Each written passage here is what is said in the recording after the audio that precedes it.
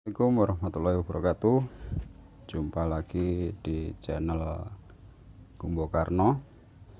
Oke pada malam hari ini malam ya karena siang sibuk kerjaan jadi mohon maaf untuk ceknya cek soundnya agak tertunda. Jadi ini juga belum saya apa-apakan ya karena kesibukan pekerjaan. Jadi pada video kali ini saya akan memberikan cara untuk pemasangan eh, semua ini di dalam box ya. Driver trafo kit PSU ya. Eh, alat yang kita butuhkan yakni bor tentunya bor e, untuk mata bor bisa kita pakai yang dua setengah atau 3 mili ya. Lalu kebetulan di sini saya menggunakan dua bor ya. Yang satu untuk skru atau obeng yang satu untuk bor. Jadi saya tidak perlu bongkar pasang ya. Lalu eh, kertas lur jadi kertas atau kertas karton ya yang agak tebal gunanya untuk seperti ini loh untuk ngeblat karena ini kemarin eh, sudah saya pasang duluan dan belum saya lubangi. Jadi kita butuh alat bantu seperti ini ya. Nah kita kita tempelkan ke PCB ya. kita tempelkan ke PCB lalu kita tandai ini kita garis ini kita garis ya. Lalu lubangnya kita tandai kita beri tanda. Empat lubang di sini kita beri tanda. E, untuk pemasangan spacer ya spacer. Ya. Ya. oke. E, langsung saja kita akan saya bor ya. Oh ya sebelum kita bor sana sini jadi kita tentukan dulu tata letaknya seperti ini. Kita mau taruh drivernya di sebelah mana headsingnya trafonya PSU nya ya. Jadi kita tentukan dulu seperti ini lalu kita bor. Oke lor langsung aja akan saya copotin dulu ya semuanya saya ambil trafonya dulu dan ininya nanti saya copot dulu lor oke lor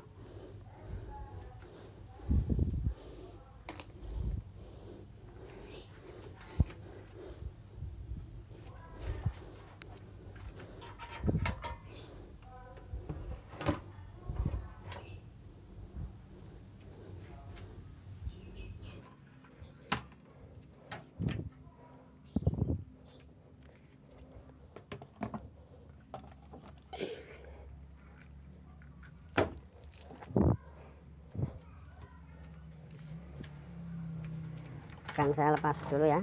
Untuk box CA20 ini bisa kita lepas sisi atas samping belakang eh, depan. Bisa kita sendiri-sendirikan lor bisa kita lepas jadi piece per piece. Oke lor jadi ini sudah saya lepas lepasi semua. Jadi untuk box CA20 eh, yang belum tahu ya. Nah, jadi bisa kita lepas seperti ini lor ini bagian bawah. Jadi bisa kita lepas ini panel belakangnya ya. Lalu ini panel depannya ya. lalu untuk panel samping. Samping kanan samping kiri ya. Nah. jadi kita bisa lepas semua lor jadi bisa piece per piece istilahnya. Jadi tinggal eh, bawahnya aja. Oke saya singkirkan dulu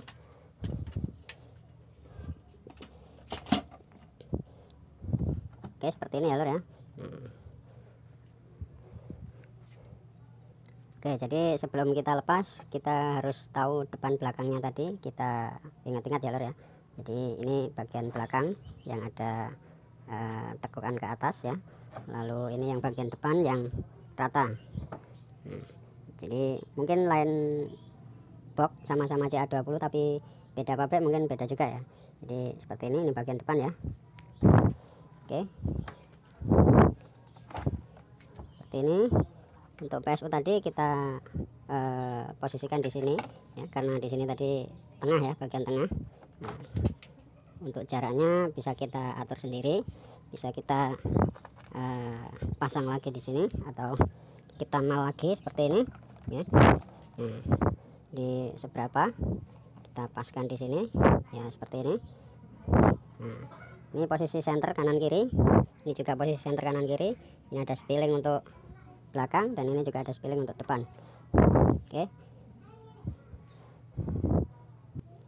Oke lor uh, ini seperti, sudah seperti ini jadi akan saya gunting dulu kertasnya ya. Mungkin agak sedikit ribet tapi demi kerapian ya. Hmm. jadi nanti bisa rapi bisa sesuai yang apa uh, sesuai dengan apa yang kita inginkan oke.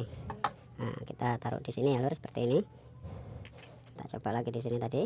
Nah seperti ini ya. Kalau sudah merasa pas oke.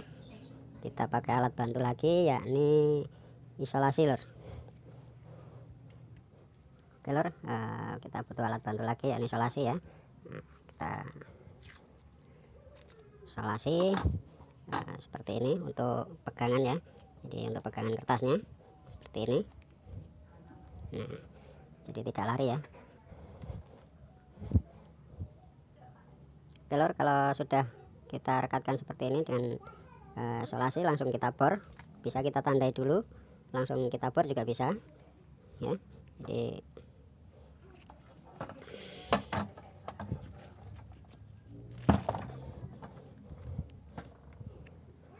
langsung aja saya bor ya seperti ini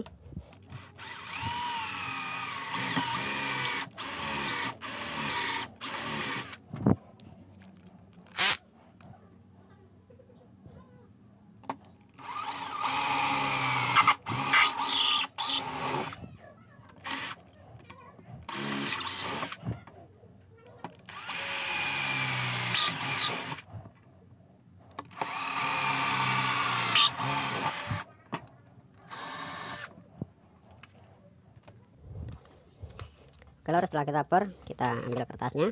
Nah, ini sudah uh, ada lubangnya ya seperti ini. Nah, ini nanti akan saya pasang spacer. Oke lor untuk yang belum tahu spacer itu apa ya, spacer itu seperti ini. Ya. nah seperti ini. Ini namanya spacer. Spacer. Nah, kita aja kalau beli di toko. Ukuran macam-macam ada yang 2 cm 1 cm satu setengah ya ada. Ada bahan dari plastik ada bahan dari ini kuningan ada yang dari besi biasa juga ada ya. Jadi ini nanti akan saya, saya akan menggunakan yang satu senti. Nah, yang satu senti untuk PSU oke bisa kita keraskan menggunakan tang ya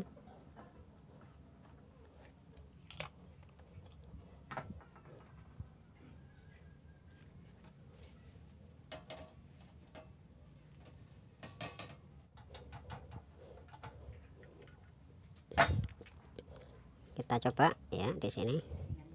Nah.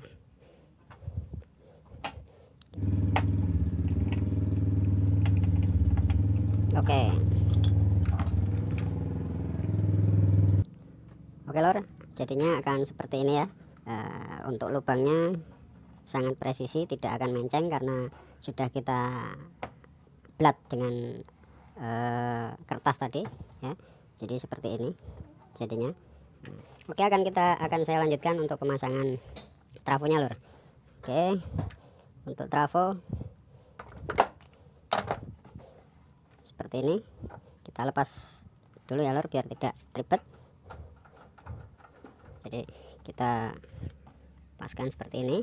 Kita kira-kira kalau kita kira-kira sudah center kanan kiri dan ada spilling nah, bisa kita tandai dengan menggunakan bautnya ini lur ini bautnya karena uh, ada lebihnya bisa kita putar gini lah. Ini ya. Ya. Sini akan ada tandanya nanti di bawah. Nah seperti ini loh ya.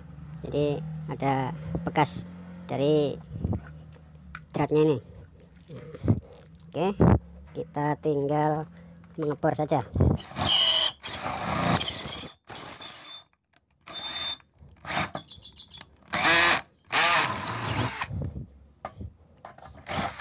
oke lor sudah lubang. Kita bersihkan dulu gram-gramnya.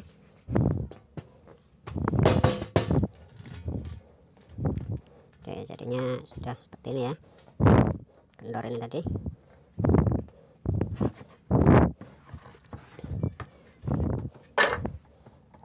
Lalu kita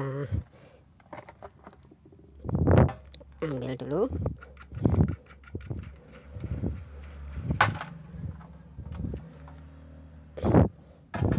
oke untuk yang bawah kita kasih ring ya lor ya? Seperti ini.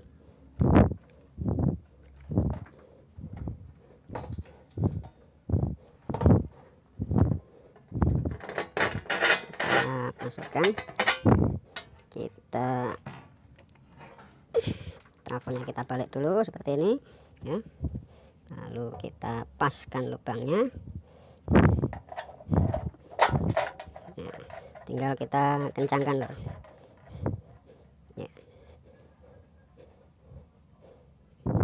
oke akan saya balik.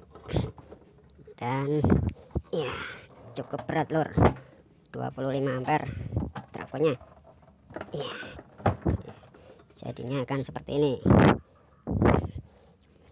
Nah, tinggal kita kencangkan lor ya. Kita tata lagi posisi kabel AC nya di belakang. Ini nanti untuk PSU nya ini kabel untuk PLN ya jadi sudah bisa terlihat di sini seperti ini ya sama ini kita pasang. Hmm. Lalu selanjutnya untuk pemasangan uh, heatsink atau driver ya. Jadi tadi saya posisikan seperti ini. Nah, di sini ada lubang untuk kaki kaki dari box ya di sini depan dan belakang ya. Nah, kita luruskan aja lur karena lubang ini tadi lurus dengan kipas ya.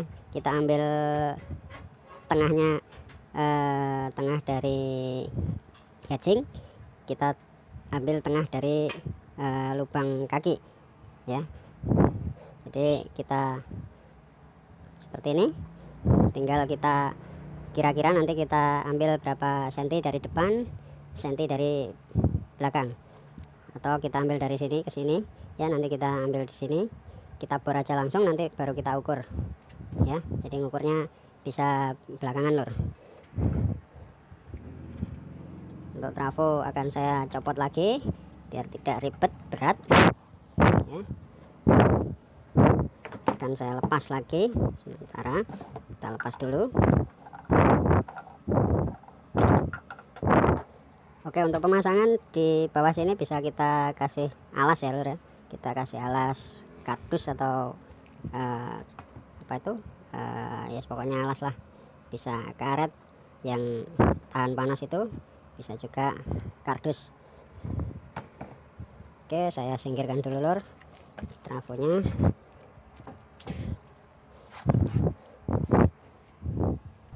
Oke seperti saya bilang tadi di sini ada lubang untuk kaki ya nantinya.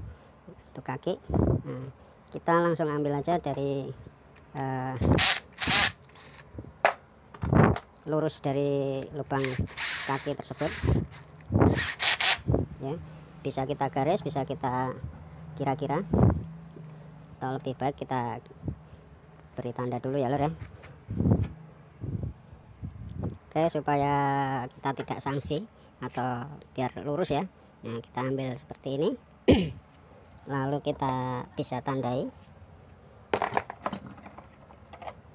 tidak perlu digaris ya lur ya. Cuman kita tandai aja seperti ini. Oke kita tandai seperti ini.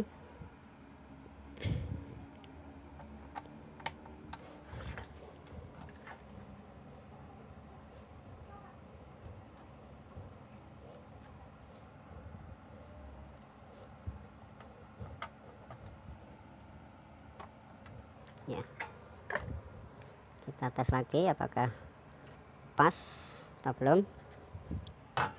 Ya bisa ya. Oke. Jadi sudah kita tandai ya di sini. Dan di sini.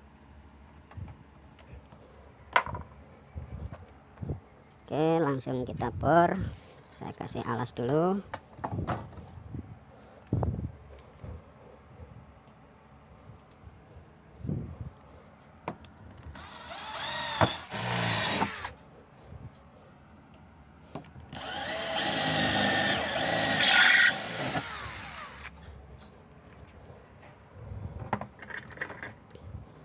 lalu untuk heatsingnya loh ya kita bisa pasang seperti ini kasih tanda. Kita kasih tanda ya lor ya. Nah, kita coret. Nah, oke. Setelah itu kita ambil tengahnya ya sini dan di sini. Lalu kita bor.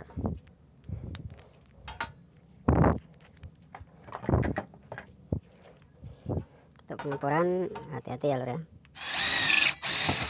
oke. Setelah kita lubangi. Seperti ini. Nah, kita akan coba memasangnya. Oke untuk pemasangan bisa menggunakan skru biasa.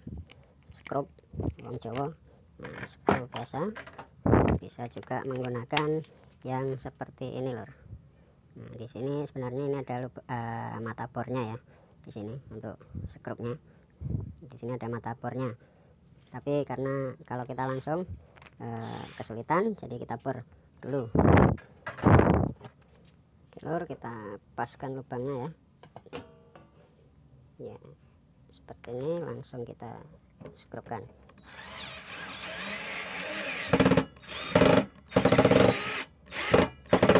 Ya satu lagi.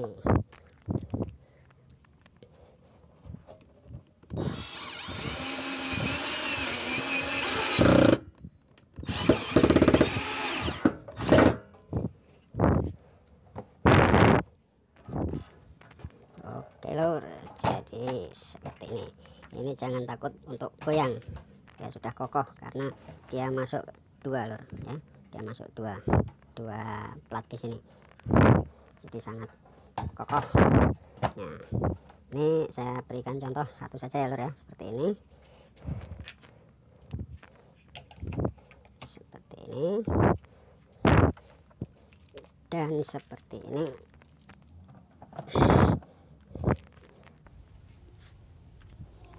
Oke dulur saya kira cukup sekian nah, video kali ini ya. Jadi ini mulai awal tadi pemasangan PSU lalu trafo lalu untuk hedging untuk driver ya. Jadi seperti itu untuk pemasangan di boxnya lor Oke terima kasih sudah menyaksikan video-video saya. Dukung terus channel saya dengan uh, yang belum subscribe silahkan subscribe lor uh, pencet jempol jika suka ya lalu silahkan di komen ya. Oke lor terima kasih. Selamat malam. Assalamualaikum warahmatullahi wabarakatuh. Tetap semangat